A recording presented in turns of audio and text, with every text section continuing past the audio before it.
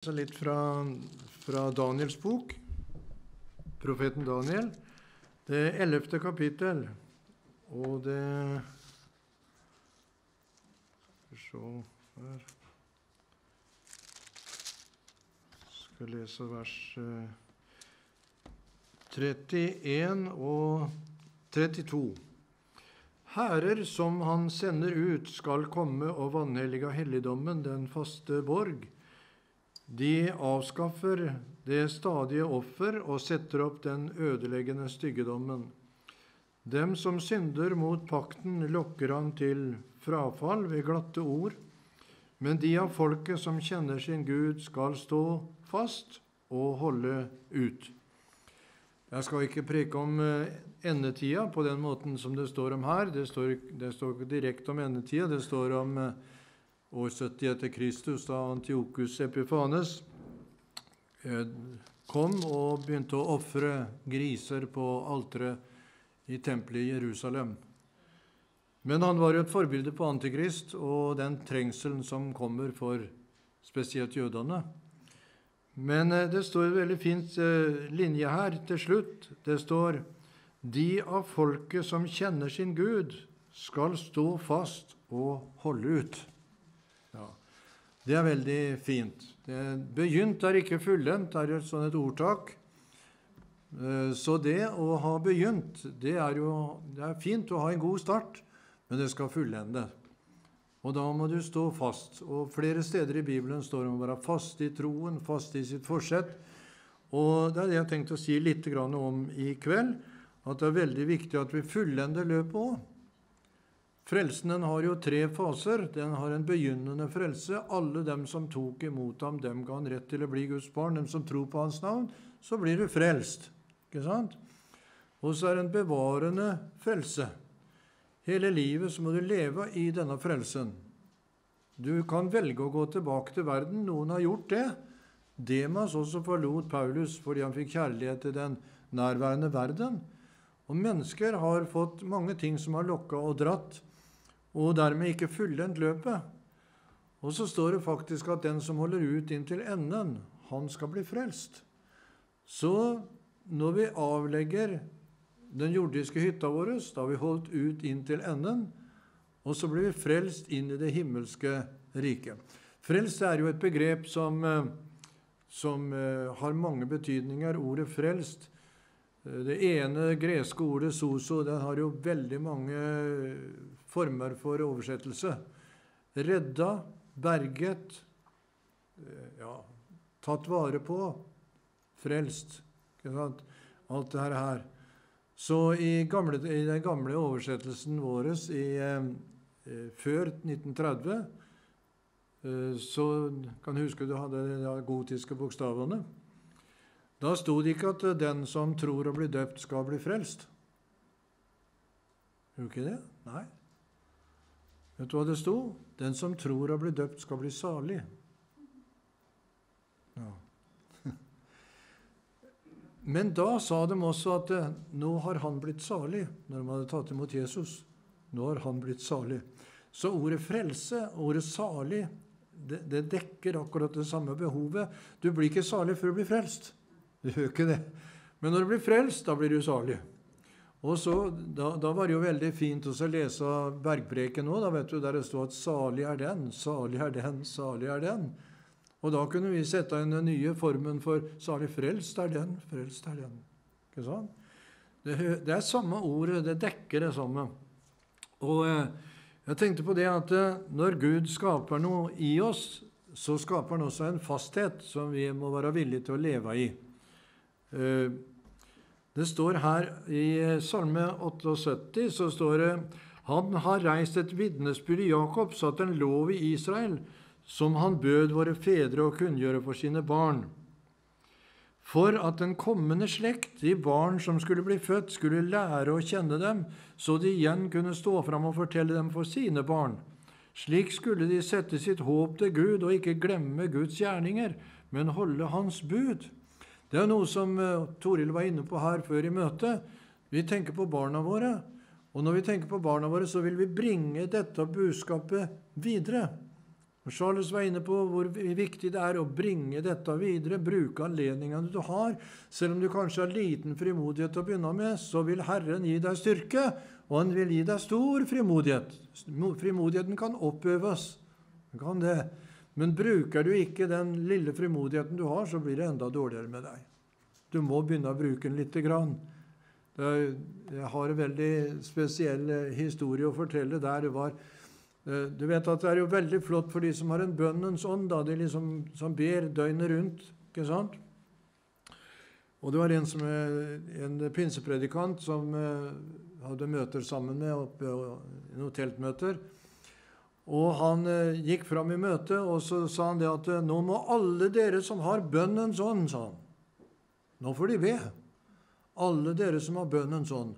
Og da vet du, de som hadde bønnen sånn, var jo glad at her er en oppmuntring og oppfordring. Nå kan vi begynne å be.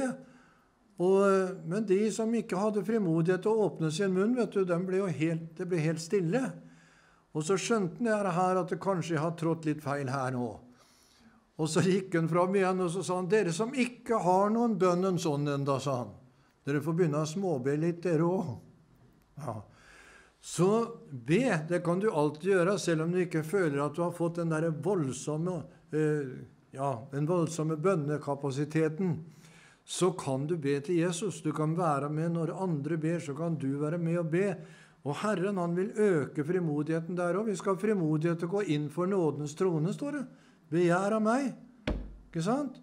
Så det det er en frimodighet vi må få tak i. Men det som er merkelig her, det står at de skulle gi det videre til sine barn. De hadde jo ikke Skriften sånn som vi har den. De, de hadde ikke det, så de kunne ikke peke tilbake på noen nytestamentlige ting, iallfall, for det var jo lenge før Nytestamentet kom. Ja. Og så måtte de bringe det videre fra slekt til slekt. Men så står det her de skulle bringe det videre til sine barn. Men i åttende verset så står det de skulle ikke bli som sine fedre en oppsetsig og gjenstridig slekt. Det var da merkelig.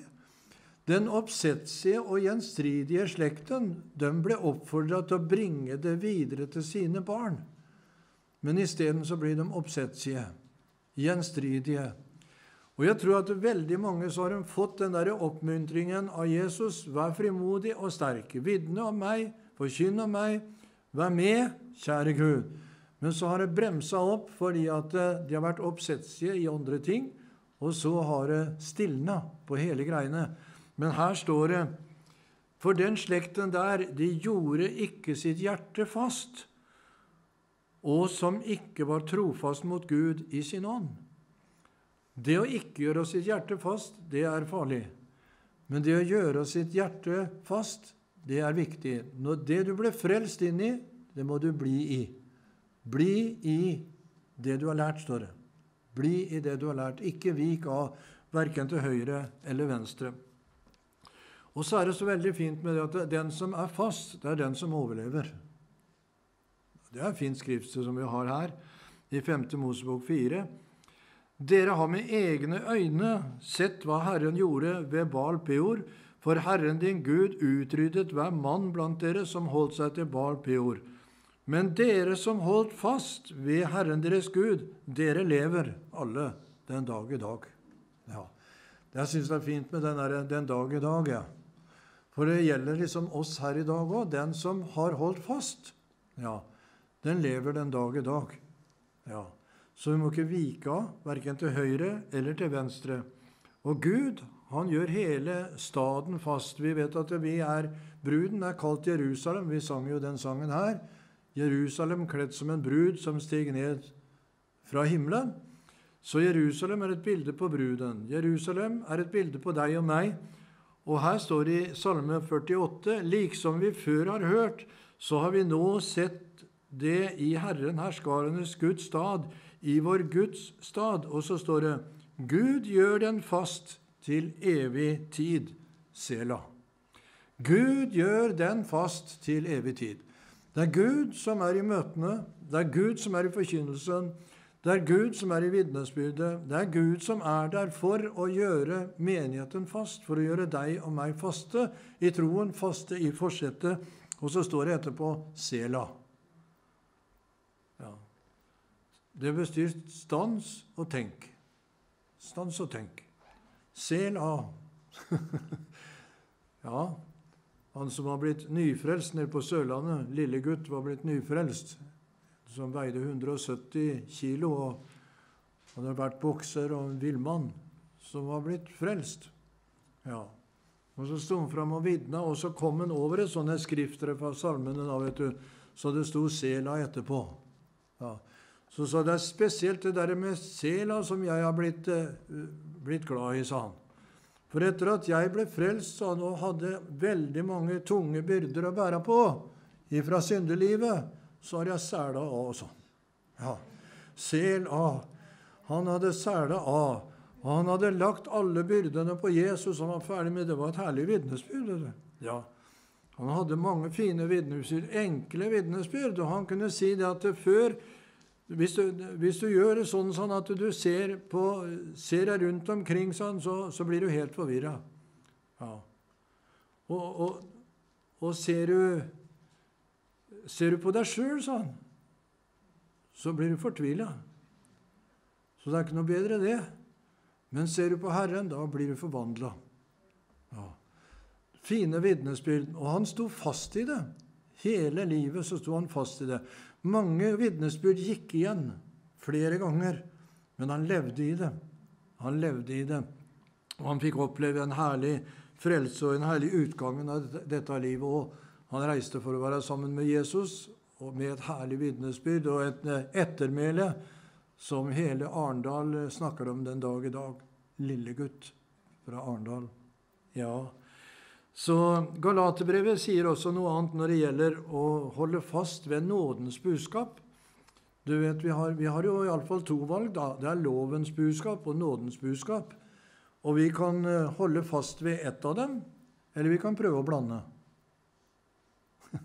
Blanding er ikke bra, og loven er heller ikke bra. Nådens budskap er det vi har fått tak i. Det, nåden og sannheten kom med Jesus. Så vi holder oss til Jesus og nådens budskap. Og da står det i Galaterbrevet, der Paulus advarer folk mot å beile mot loven igjen og å blande lov og nåde. Og han sier til frihet har Kristus frigjort oss.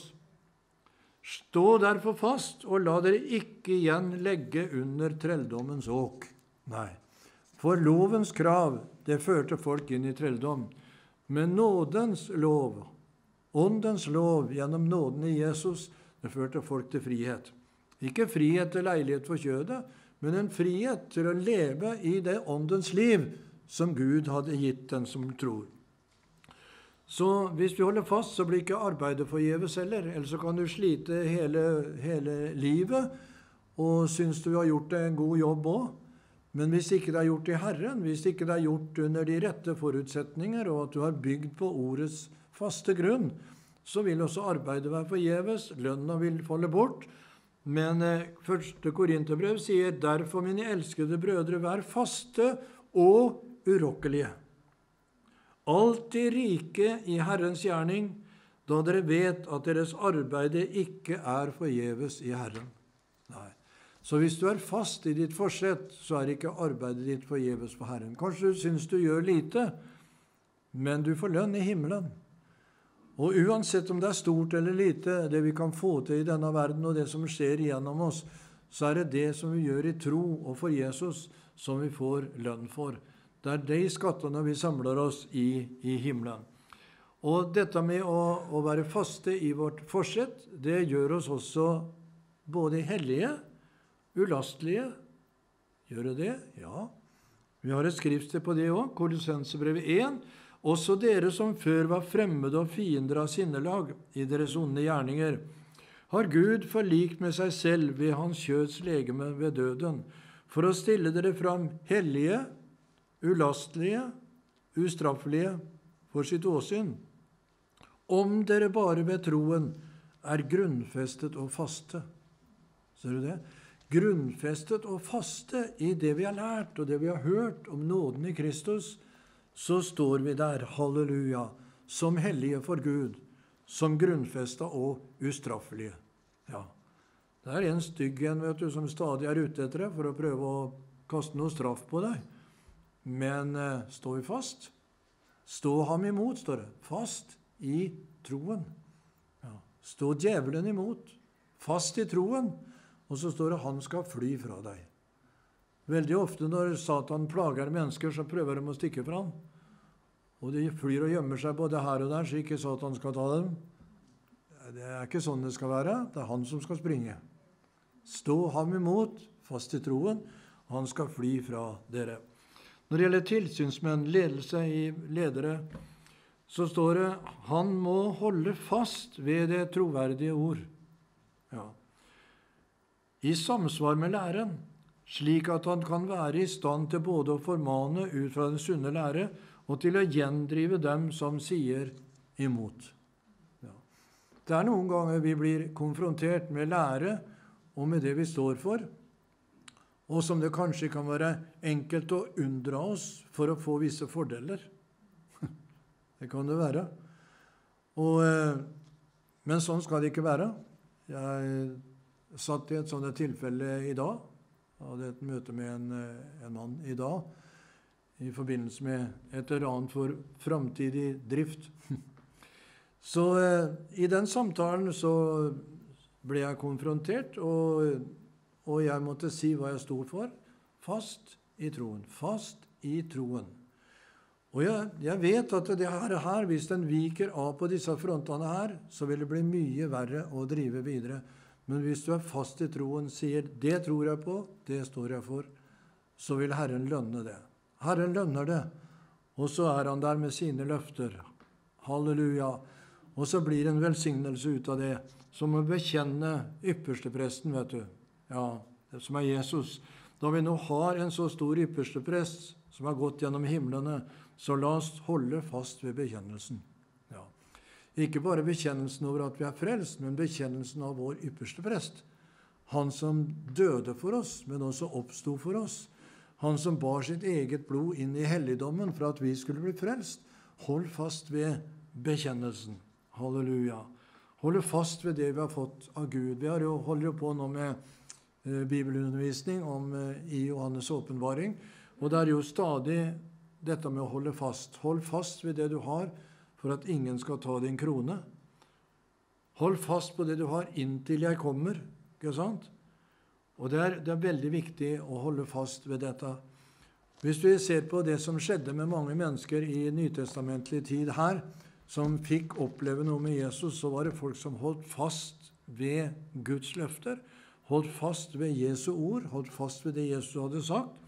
Ja, Og denne kvinnen som eh, var dømt til å holde seg borte fra både møter og alt som var, pga. sin blodsykdom Hun visste det. Hvis jeg bare får røre ved sømmen av hans klær, da blir jeg helbreda. Og fast i sitt forsett så trengte hun seg gjennom folkemengden. De forsøkte å stanse henne. Ja, og når hun ikke lot seg stanse, men rørte ved Jesu kjortelflik, så snur Jesus seg og spør hvem var det som rørte ved meg. Og da kommer disiplene inn og prøver å hindre hennes møte med Jesus. Og så sier de de puffer jo på deg på alle kanter. Er det noe å spørre om det, Jesus? At noe døtta på deg? De puffer deg på alle kanter. Det er jo masse mennesker her. Men Jesus sier det var én som rørte ved meg, for jeg kjente en kraft gikk ut fra meg. Å være fast i sitt forsett og rekke sin tro sånn ut og røre ved Jesus, det vil si det samme som legedom. Helbredelse for ditt åndsliv, ditt sjelsliv og ditt legeme. Og når Jesus så henne og fant ut at det var hun som rørte ved meg Hun bekjente jo med en gang det var jeg, Jesus, som rørte ved deg. Så tenkte hun kanskje jeg får straff nå for at jeg som var blodsyk, har rørt ved han, for etter loven så skulle han bli uren. For pga. hennes blodsykdom så førte henne urenhet med seg. Det var derfor ikke hun kunne gå på noen gudstjenester. Ja. Men nå hadde hun møtt én som var sterkere enn hennes urenhet. Det som er fint, vet du. Når vi møtte Jesus, var vi urene, vi også. Vi var borte fra Gud. Vi var fortapt, uten Gud og uten håp. Men når Han rørte ved oss, da var det Hans renhet som var sterkere enn vår urenhet og som fjerna all vår urenhet, på samme måte som han fjerna denne kvinnens blodsykdom. Han sa, 'Din tro har frelst deg'. Din fasthet, ditt holdepunkt, har frelst deg. Du har rørt ved meg, og du er fri. Det er flott. Jeg nevnte det vel i, i går i et møte òg, at eh, noen ganger så, så, sier vi 'Jesus, rør ved meg', men andre ganger så kan du røre ved Jesus også. Glemmer ikke det en predikant som sa det at eh, hvis Jesus ikke har rørt ved deg ennå, sa han, så kan du røre ved han, for det blir samme resultatet. Det blir samme resultatet. Berøringen av Jesus, det er herlig, vet du. Og høvedsmannen nå, han som jeg stadig snakker om, han som hadde en, en, tjener som led vondt og hadde smerter, kommer til Jesus og forteller dette her. Så sier Jesus, 'Jeg skal bli med deg hjem'. Det høres jo veldig fint ut, men han holdt fast ved én ting. Verdien av Jesu ord. Her har vi det. Jesu ord. Han sa 'si bare ett ord'. Si bare ett ord, så blir tjeneren min helbreda. Ja. Og da sa Jesus noe veldig fint. Jeg har ikke sett så stor tro i hele Israel også, som denne romerske høvedsmannen har. Denne hetningen. Han har jo tro på mitt ord. Her har jeg vært sammen med jødene i, i flere år, og det er veldig få som tror på meg. Men denne romerske høvedsmannen sier, 'Si bare et ord, så blir drengen helbredet'. Han sa, 'Gå hjem, din sønn lever'. Jesus han ble veldig fascinert av den troen. Og hvis du kan gjøre noe i tro til Jesus, strekke deg ut etter noe i henhold til Hans ord, så vil han lønne din tro. Han ser deg når du rekker ut din tro sånn, og han vil skaffe det som du ber om. Be om hva du vil, og så skal du, skal du få det. Ja. Eh, de hadde faste forsetter. Engler fridde dem ut av fengsel. De brydde seg ikke om om de måtte lide. De akta seg De var glad for at de var akta verdig for å lide for Jesus skyld. De visste at engler kunne føre dem ut. De visste at Gud kunne bevare dem. Og det samme i Det gamle testamentet. Sadrak, Mesak Abenego visste at Gud kunne fri dem ifra ildovnen. De sa det at vi vet at Gud er mektig til å fri oss ut. Men, sa de, selv om han ikke skulle gjøre det, så kommer vi ikke til å tilby det der bildet likevel, vi. Vi kommer ikke til å tilbe deg, vi, konge. Vi har bare én som vi tilber. Vi er faste i vårt forsett, selv om han ikke skulle utfri oss. Men vi vet de ble utfridd. Det var en som var lik en gudesønn, som kom ned i ildovnen og gikk sammen med dem. Halleluja. Og kongen sov ikke hele natta. Hvorfor det? For han hørte hele tiden det ordet 'selv om ikke vi blir utfridd' vil vi allikevel ikke Hva er det disse guttene har for noe? Jeg må gå og se. Og tidlig på morgenen så drar kongen av sted for å se i ildovnen. Hvorfor kommer du nå? Jeg kommer for å besøke dem som vi kasta i ildovnen. Ja, men du må da skjønne at de er brent opp? Nei, det brenner enda inni der. Ja, nå skal jeg se. Og når han så inn, så fikk han se en som var lik en gudesønn. Prise Gud. De var faste i sitt forsøk, eller forsett. Og jeg må si at det er mye av det som går i dette med ildovnen, det går på lidelser, prøvelser, som også du og jeg har i livet, så vi kan bruke som et bilde. Om vi går gjennom ildprøver her, vanskeligheter, så det ser ut som hele livet har gått tapt, så er det én som går med oss. Og med det forsettet Jesus, vi er ikke alene. Det er én som går med oss. En som er mektig til å berge oss. Halleluja. Og så kom de ut. Han åpna hele ildovnen og slapp dem ut. Halleluja. Og etterpå så ble det tilbedelse av en annen konge. Med tilbedelse av den Gud som Sadrak, Mesak og Abnego tjente. Eh, Daniel hadde akkurat samme opplevelsen. Du må ikke be lenger, Daniel, til din Gud. Du må slutte med det nå. Den som ber til noen andre enn kongen nå, han skal kastes i løvehula. Vet du hva det står? Det står Daniel gikk opp på sitt rom slik han pleide. Han åpna vinduet slik han brukte å gjøre det, og han ba til den himmelske guden. Og nedafor der, der sto alle disse typene vet du, som var etter den for å skulle ta livet av han. Og så sprang de til kongen og sa, 'Nå ber han. Vi har hørt den. Han har til og med åpna vinduet. Hadde han holdt vinduet igjen, så var det ingen som hadde hørt den. Så kunne han bedt til den guden sin, men han åpna vinduet som før. Ja, det er det, vet du. Vi må ikke forandre på noe. Vi må være faste i vårt forsett. Og han åpna vinduet som før og ba til himmelens Gud. Så ble han kasta i løvehula, men kongen han likte ikke å kaste den dit. Han gjorde ikke det. Han syntes godt om Daniel, egentlig. Så han sa til Daniel det at jeg har hørt du har snakka om en sånn, sånn en spesiell Gud som du har, Daniel. Ja, jeg har en spesiell Gud. Du, Daniel, jeg håper at den Gud som du tilber, vil redde deg der nede hos løvene. Han sa det. Du leser om det. Og så ble han kasta ned i løvehula. Kommer kongen om morgenen.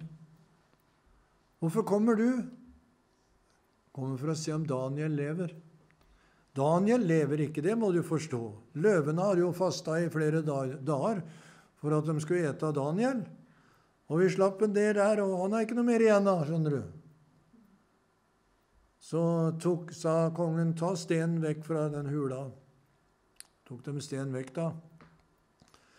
Daniel har den Gud som du stadig dyrka, stadig dyrka. Har han makta å frelse deg fra løvene?